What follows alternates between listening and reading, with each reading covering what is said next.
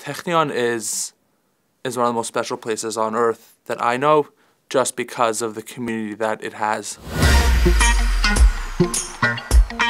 What makes Technion special is the people.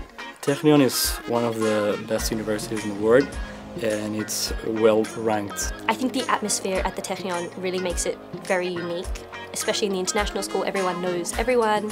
It's the people. I, I think it's the idea of innovation, the idea that you can break any boundary, no matter in your scientific research life or your daily life. I come from a very modern, orthodox, Dati, relig like religious background at home. I was always involved with Israel and I kind of just thought, always thought that Israel would be the place where I kind of started my life and had my first steps, yeah.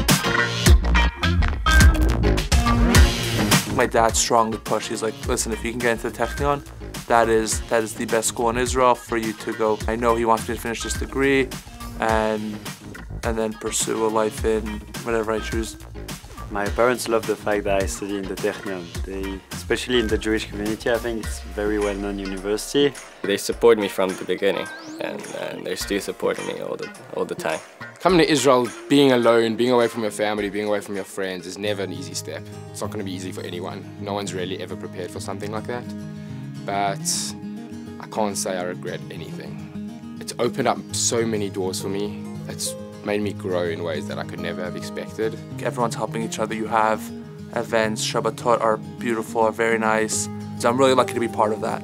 The atmosphere around here in Technion, it's a studying atmosphere. Everyone wants to like work hard and play hard. Here the academic atmosphere is really good. Every class in Technion is amazing. There are different kinds of professors that teach in different ways, so it, it, it, leads you into the real world. You are not only studying about the academic knowledge, you are actually seeing how it works in the field. The things you learn um, broaden your perspectives, and even now when I walk on the street, I just I see the world a little bit differently because of what I've been studying for the last three years.